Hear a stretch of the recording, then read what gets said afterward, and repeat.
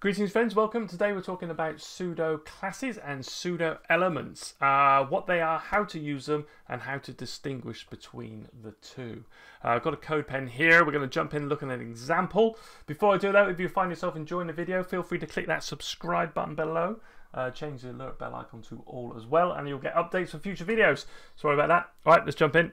Um, Right, let's start with pseudo classes. I think so. A pseudo class allows us to refine our selector more based on maybe the state of an element or where it is within the document tree. You know, something that's not what the element is. You know, what type of element. If we look at a normal selector, say, say, um, let me just create a H2 here.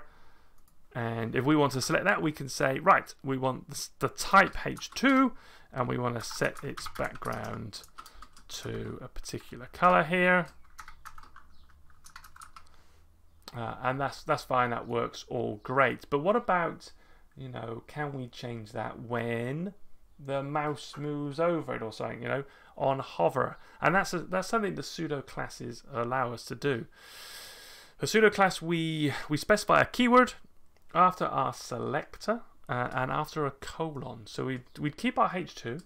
We still need to have the selector there and then we can refine it using the pseudo class. So we do colon and say hover. Right, you can see that background color is no longer being applied because it's only going to be applied now when we hover over. So I move the mouse over and we're getting that applied. So that's a very good example of a pseudo class and you can tell those because we got this single colon um, compared to pseudo elements, which we'll see in a minute have a double colon. Um, right, what are some other good pseudo class ones? Um, we can look at, say, whether an item is disabled.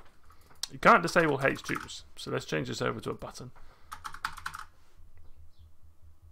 And we should have a white background to start because it's enabled. If I add the disabled attribute to our button, that pseudo class will then get applied and we'll get that background color on there. Um, another good one here is uh, focus. So we have a few buttons. Get rid of disabled there. Say we've got three buttons here and we only want to apply it to the button that's got focus. If I click on this one, it will get the focus. I can tab through them um, and tab back and that will just be applied to the item that's got the focus. Um, so those state ones, it's all the pseudo classes also uh, allow you to do ones where your element is within the structure of the DOM. Um, so we could do something like a last child.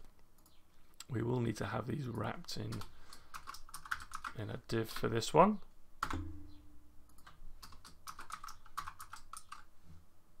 Like so and then we should just see just the last item there getting selected um, which it has which is good.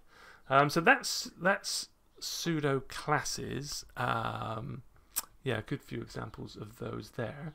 And those so again those if we've got our element here the, the pseudo classes are kind of looking at it from a, a higher level rather than what that type of object is. Now pseudo elements uh, are the opposite. They're actually looking inside our element.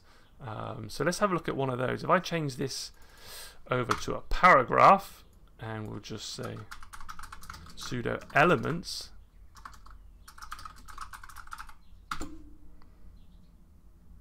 um, and now what we can do is actually get inside um, and look at individual parts of our element. Now, as I said before, it was a single colon for a pseudo class. And that's how you can tell you're using a pseudo class. You can tell you're using a pseudo element when you've got a double colon. Um, so let's have a look. We can do something like first letter.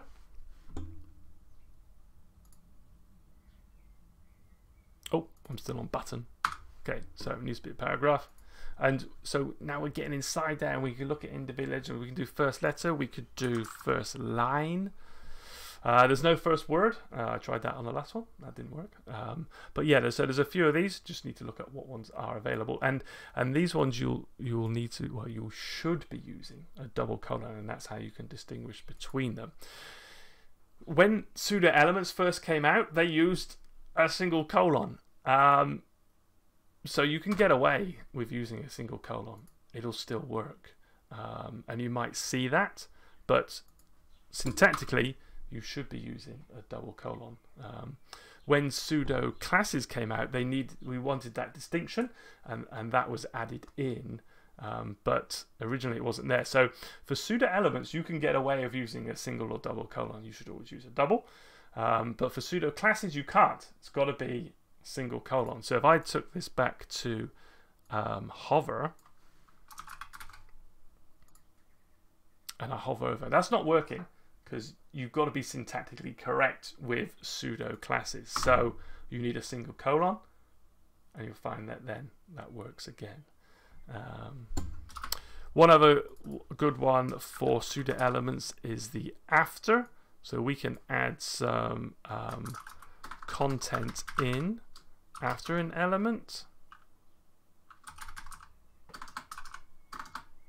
Like so and you can see that's popping in there as well. So again, you're operating um, within your paragraph and changing stuff within your element um, with a pseudo element. But a pseudo class, you're looking at it from an outside view at other external factors um, in order to refine refine your your selection there.